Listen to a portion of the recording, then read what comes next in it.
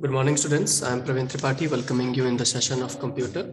So we are doing our chapter number seven, which is about introduction to Excel 2010. So far, we have discussed what is spreadsheet, and I have told you about the features of Excel. And I have shown you the practical implementation, how you can start your Excel in your PC if you have installed the Microsoft Office suite. And I have shown you what are the worksheet, row, sheet tab, and uh, that you can see the components of the Excel. So now we are going to start how we can save a workbook. So once again, I'm reminding you all that workbook is a combination of worksheet. That means it is a combination of rows and columns in which we create multiple tables to create our database. So now after discussing how we can create a workbook, now we will understand how we can save a workbook. So the simple steps to save a workbook is that you have to click on file tab.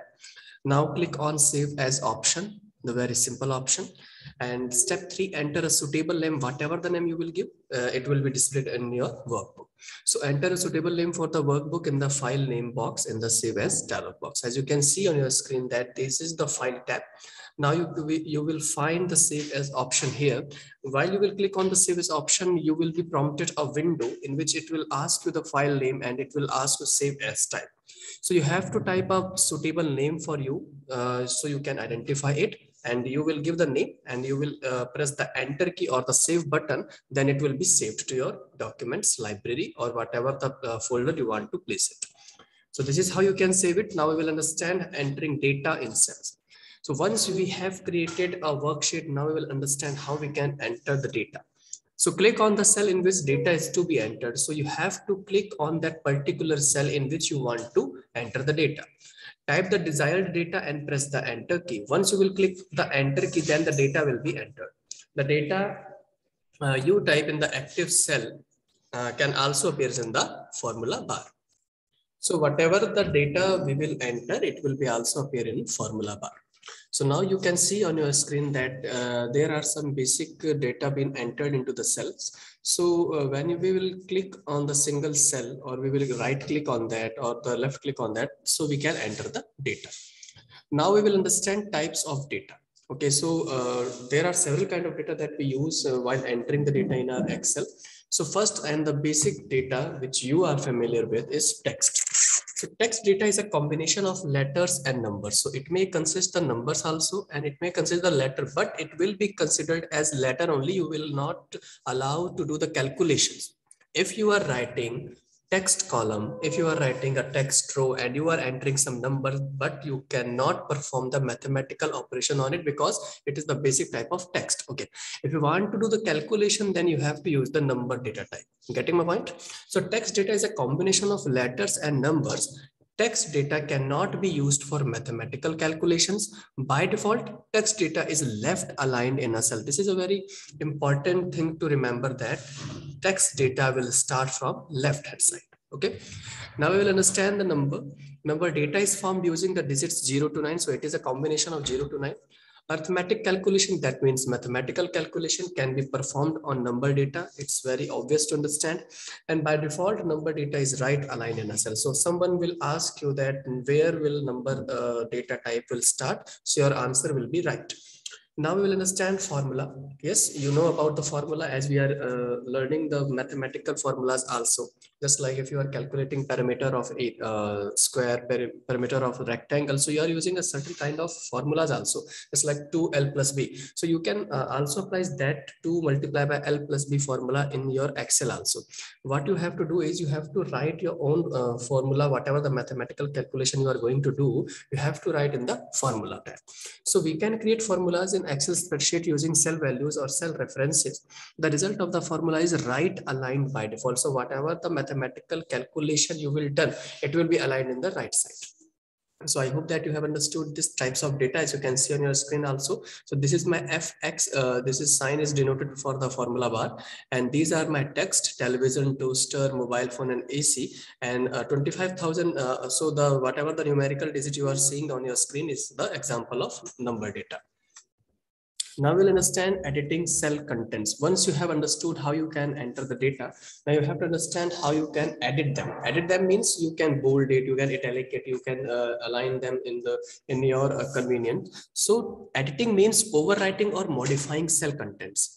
supposingly you have written 10,000 but you have to uh, you are supposed to uh, write the 8,000 only so now you can edit it also supposingly you have written 18,000 in AC Uh, and if you want to uh, enlarge this if you want to change the font size font style of it so you can also edit it. So these things comes under the category of editing. That means overwriting or modifying cell contents. So let us learn to edit the contents of a worksheet. So first of all we will understand to overwrite the content. That means we are going to change the content. So click the cell type the new data and it will be overwritten now to modify the contents of a cell, click the cell and press F2. Mark my point, which uh, cell? F2. F2 key or click in the formula bar. The cursor will appear in the cell, modify the contents and press the enter key. So this is very simple. Now we will understand moving around in worksheet. Moving around in worksheet, that means we are going to navigate our worksheet. Navigate means we are going to access the sheet in a different manner, in right manner, in left manner. So uh, we are navigating our cells. So the size of an Excel worksheet is very large. Yes, uh, we can use the very large worksheets also. So for doing that, for uh, accessing that, we need to navigate it also. So it has 16,384 columns. How many? Once again, I'm repeating 16,384 columns and 1 lakh 48,000, uh, sorry, 10 lakh 48,576 rows. So these are very big amount of data. So we have to navigate it. We have to access it in a very convenient manner, in a very easy manner. So for doing that, we use the certain kind of keys, such as left arrow key, right arrow key, or tab key. You will find the tab key uh, in alongside with Q if you will have the Q, uh, keyboard, and you can find the uh, uh arrows key in the keyboard at the right hand side. So up arrow key, down arrow key, and etc. And then page up key. Page up key means that move up by one screen, one screen to another screen page down key, vice versa of it, move down by one screen. Home key, that means you are going to uh, uh, locate onto the uh, first rooted worksheet. So move to the first cell of the row. If you will press control plus down arrow key, then move to the last row in the worksheet. It will let you uh, go to the last row in the worksheet. But if you will click on uh, control plus up arrow key, then move to the first row. Control plus left arrow key move to the first column. Left for first column, right for uh, last column. And if you will press control plus home key, okay, control plus home key, move to cell A1 from starting of our worksheet. And if you will uh, click control plus end key, then move to the last used cell in worksheet. That means last active cell of our worksheet. So I know this is very complex for you. This will be so uh, difficult for you. So you don't need to uh, learn all this table, but uh, familiar with it, go through with it. Okay. Now the last topic of today's session is using name box to locate a cell. That means now we are going to name our boxes, name our cells. To go to a specific cell in a worksheet, we can make use of the name box located at the left side of the formula bar. So where you can find located in the left side of the formula bar. This is my formula bar and you will find the name box here in the left hand side. So how you can access it? Click in the name box. Okay. Now erase the current cell address and enter the cell address where you want to move that means supposedly I want to move to E5, press enter key to reach the destination cell. Okay, so you will be prompted to that cell. So this is how you can uh, access the name box to locate a cell. I have told you about moving around in a worksheet and types of data and editing cell contents. Now it was the theoretical aspect. Now I'm sharing my screen to implement the practical work of this things. So here I'm sharing my screen. So once again, this is my uh, desktop. Here is the start button. Now I'm finding my Microsoft Office folder. Here I can see the Microsoft Excel. I'm clicking on it. Yes. So this is my Microsoft Excel prompt, or you can say the first interface. This is the name box we were talking about, and this is my formula bar. Okay. So supposedly I want to enter some data. I have to click on it. Okay let's say I need to uh, write AC. I need to write the numbers 15,000. So I can move from that arrow keys also. Okay. Or I can move from the clicking by mouse. Okay. Supposingly, I want to enter some more data, just like I want to write here smart TV. Then I can write here. Now I need to change my cell position. Then I will click on tab key. Then it will be prompted to my next uh, column B. Okay.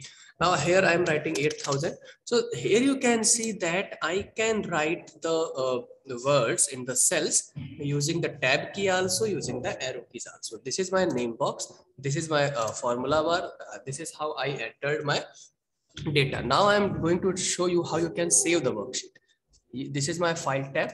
Yes. Now you will find the save as option. I have clicked the save as option. Now it will prompt me to a new uh, dialog box. Now it is asking me the location. So it's by default is prompting me to the documents. Here I will click the save. If you want to give the name of it, so let's suppose I'm giving LPS and saving the button. That means now my workbook is being saved as lps.xlx. This is the extension of the Excel file. This is how you can access or this is how you can uh, enter the data and save the data in Excel. I have already told you about the text. This is my text data. This is my numerical data. Supposingly, I want to uh, uh, add them 15,000 plus 8,000. So here I will write equals to sign, clicking the B1 plus clicking the B2. If I will press the enter key, then it is uh, added 23,000 answer. So this is how you can uh, access the Excel in a very de uh, decent manner and convenient manner. So I hope that you have understood this session and enjoyed this session. Thank you so much.